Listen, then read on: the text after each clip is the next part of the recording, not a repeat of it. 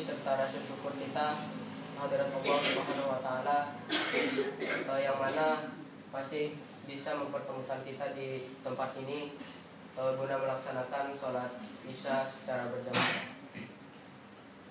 Dan kedua kalinya salawat serta salam tak lupa selalu kita hantarkan besar yakni Nabi besar Muhammad Sallallahu Alaihi Wasallam. Eh, seperti teman biasanya eh, di sini saya akan menyampaikan sedikit kultum yang eh, bertemakan tentang eh, malas. Eh, jadi sifat malas adalah eh, sifat yang dimiliki oleh seluruh manusia. Jadi walaupun bagaimanapun keadaan orang tersebut pasti eh, dia memiliki yang namanya sifat malas. Eh, dan sifat malas ini eh, mungkin menurut banyak orang itu tidak ada yang tidak ada manfaatnya.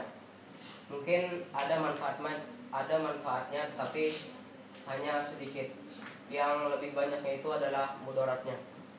Jadi eh, sebab-sebab kenapa kita jadi bisa bersifat malas itu di antaranya yang pertama yaitu karena di dalam e, diri kita itu terdapat dahak atau e, lemak. Jadi menurut buku Ta'limul Mutalim e, salah satu sifat malas orang tersebut yang memiliki sifat malas itu di antaranya e, dahak yang ada di dalam dirinya atau lemak. Jadi e, berkaitan dengan lemak biasanya orang yang memiliki banyak lemak itu biasanya e, suka makan banyak. Jadi di dalam e, ketika kita selalu makan itu bisa juga me, apa di dalam diri kita itu memiliki sifat malas. Karena apa? Karena mungkin ketika kita merasa kenyang itu kita e, tidak bisa melakukan apa-apa lagi dan juga e, cara menghilangkan dahak menurut buku talim itu yang caranya yang pertama dengan cara memakan e, roti kering. E, jadi e, ketika kita ingin menghilangkan dahak atau lemak, itu di antaranya yang pertama kita memakan roti kering. E, dalam roti kering itu tidak tercampur dengan apa-apa seperti e, selai ataupun saus-saus yang lainnya seperti biasanya kita membeli roti. Tetapi kita memakan roti kering itu yang tidak ada campurannya.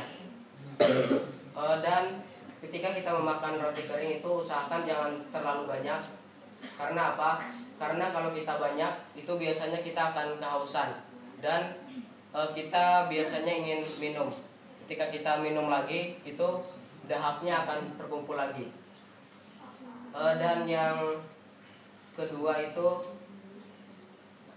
ya makan. Berkaitan dengan makan juga. Yang pertama tadi kebanyakan makan. Yang kedua makan.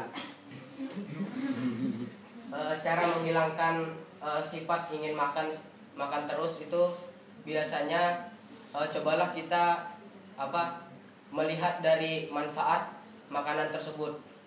Biasanya orang yang selalu makan itu tidak tahu makanan itu baik atau buruk. Kalau misalkan perutnya lapar pasti dia akan memakannya. Dan untuk e, ketika kita memakan sesuatu itu biasanya ketika kita terlalu banyak makan itu yang yang paling yang paling apa yang paling buruknya salah satunya akan membawa penyakit mungkin uh, salah satu penyakit yang tidak bisa dihilangkan itu ya tadi malas. Dan yang kedua mungkin uh, seperti kita kebanyakan makan akan selalu tidur akan merasa ngantuk. Itu juga bisa ketika kita kebanyakan tidur mungkin e, penyakit yang kita alami ketika banyak tidur itu adalah e, apa kulit kita akan bertambah atau lemak di dalam diri kita bertambah. Dan cara yang paling tepat untuk menghilangkan rasa ingin e, makan cobalah kita makan yang tidak kita sukai jadi biasanya di e, pondok ini itu semuanya dikatakan bisa ibaratnya mampu untuk membeli makanan. Jadi yang eh, makanan yang yang bermanfaat itu adalah makanan yang tidak mengandung lemak seperti ya roti kering tadi. Dan juga eh, buah anggur kering. Buah anggur kering itu juga dapat eh, menghilangkan eh, dahak yang ada di dalam diri kita atau lemak. Eh, yang tadi juga yang makan tolong kita eh, lihat manfaat dari makanan tersebut. Ketika kita memakan itu usahakan eh, makanan yang empat sehat lima sempurna. Yang ada sayurnya lauknya ya minumannya dan eh, nasinya jangan lupa. Eh, mungkin hanya ini kultum yang dapat saya sampaikan semoga bermanfaat. Uh, saya saya mohon maaf. Untuk hukum selanjutnya yang belum hukum silahkan hukum. Dan untuk yang pastinya itu Mas Afif Mas Afif Alwan. Uh, mungkin hanya itu saya akhiri. Assalamualaikum warahmatullahi wabarakatuh.